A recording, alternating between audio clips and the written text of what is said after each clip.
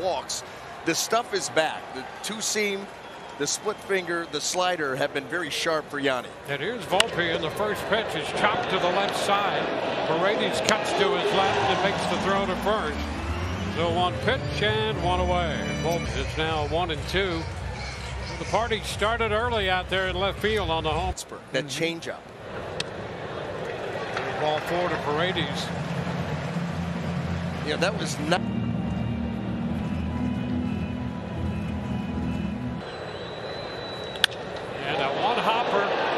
Backhanded by LeMahieu who whips the throw down to second for the force and the Rays are out in the third. To the Florida Holocaust Museum. Helen had her entire three game.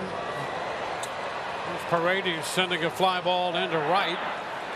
Second pitch of the inning from Abreu and Berman for the Rays. Paredes pops it up foul. Trevino is there and he makes the catch. Two gone.